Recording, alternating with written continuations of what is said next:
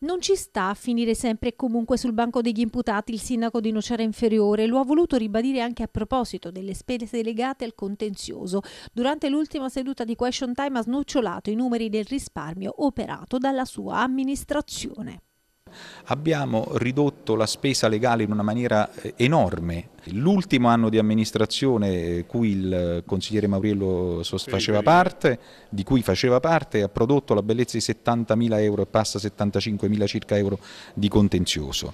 Eh, la spesa negli anni successivi durante il commissariamento per il contenzioso è aumentata fino a 168 mila euro, diciamo che il contenzioso nasce da tutte le vicende che ci sono piovute addosso grazie alla gestione amministrativa di cui il dottor Mauriello faceva parte, noi nel nostro, nella nostra annualità l'abbiamo ridotta non solo rispetto ai 168 mila del commissario prefettizio, ma abbiamo addirittura ridotto la spesa legale anche rispetto all'ultimo anno di amministrazione alla bellezza di 50.000. 55.000-51.000 euro e l'abbiamo fatta in maniera assolutamente pubblica e trasparente, seguendo un criterio di eh, scelta all'interno degli elenchi eh, cui, nei quali ci si poteva pubblicamente inserire e prenotare.